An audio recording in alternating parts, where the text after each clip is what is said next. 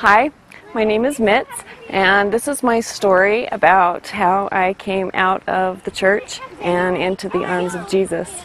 Um, I was a Mormon for 35 years, fourth generation Mormon, and um, my my biggest goal was to be sealed and have my children sealed to me and become a forever family. And so, before I tell you my story, I'm just going to preface this with. Um, it's just about truth. That's where my heart is. And it's not to attack anyone and it's not to make anyone feel bad, but it's just about truth. And so I'm just going to encourage you as you listen to my story that remember it's just about truth.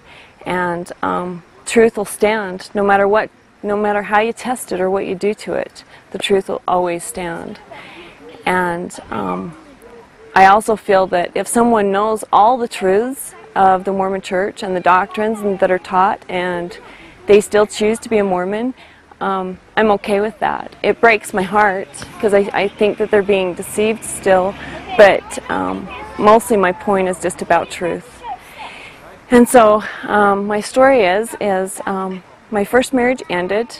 Um, part, not all because of my want to be a forever family, but that was absolutely part of it and realizing that that wasn't going to happen, um, I had lost a daughter. She died when she was a baby, and the church doctrine teaches that the only way that I could have her back was to be worthy and have her sealed to me in the Mormon temple. And otherwise, she'd be given to a worthy uh, Mormon family to be raised in heaven. And so um, I really, really wanted the security of knowing that, that I would have her again and be with my other children. And so um, that marriage ended, and I met my now husband, who was a returned missionary, and we set out to take temple classes, and we were going to start the process of going to the temple.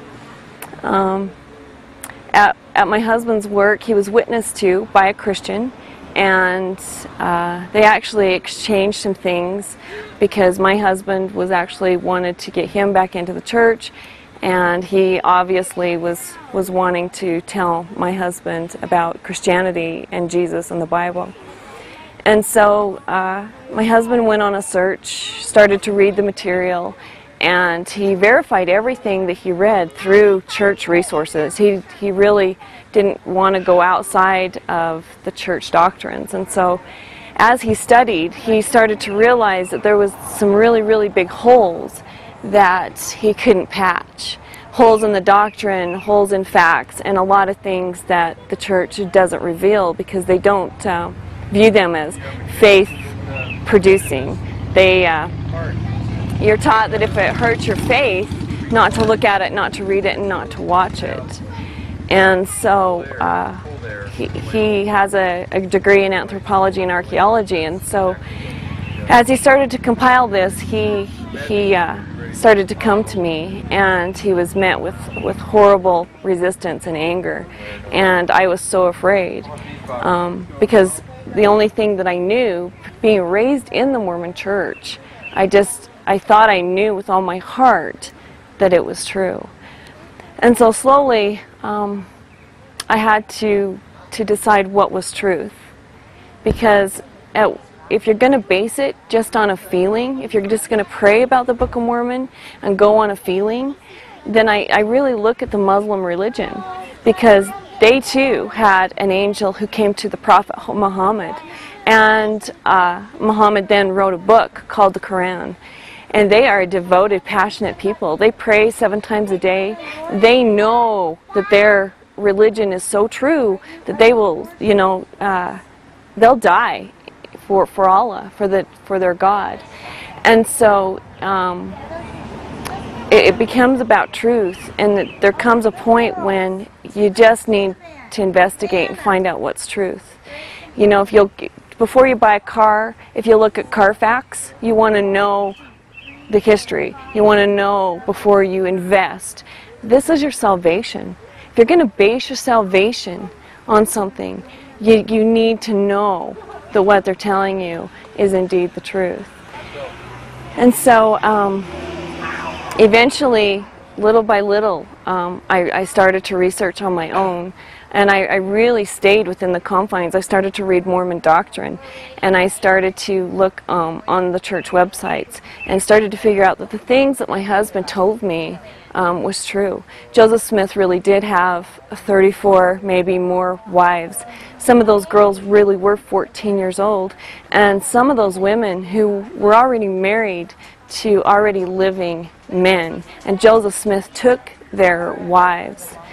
Um, more and more, just there's there's not a shred of archaeology um, evidence for the Book of Mormon. Not one, not one weapon, not one animal, nothing. And and if that was the only problem, but it, it comes to a point when the the evidence is compiled, and you have to use your, your God-given common sense to weigh out and find out what is truth. And so, um, as I did that, and I started to read the Bible and realized that the Bible is true and that it has been translated correctly, because uh, as you're taught that, that we believe the Bible so long as it's translated correctly, there's no evidence that it was not translated correctly. In fact, there's manuscripts that were distributed all over the world before the Catholic Church ever took hold of the, the Bible.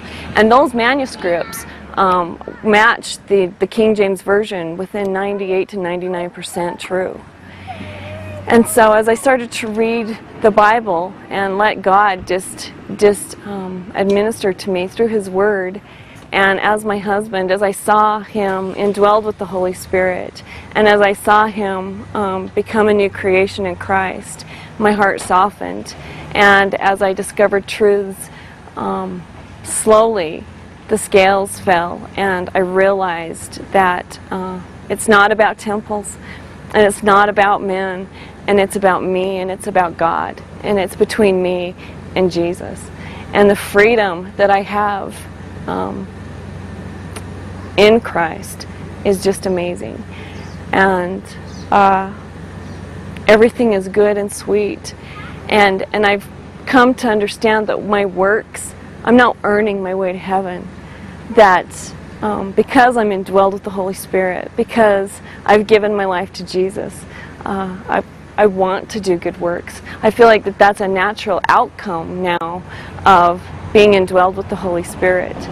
And so um, I'm here to encourage you, if you watch this, just to look for truth and to know that there, there is truth and there are answers to all your questions and that it's okay to ask questions.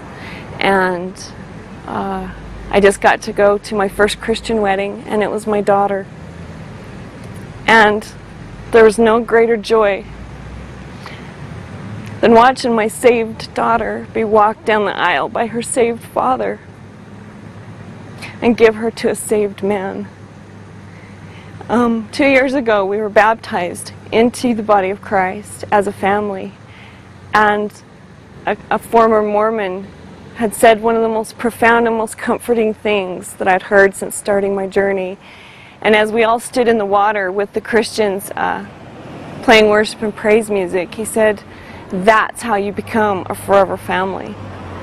And I really believe that, that in heaven, as, as believers in Christ Jesus, that we will be a forever family, and that you can know that you have eternal life, and you can know that you will be with Him, Jesus, your Lord, your King, and your God.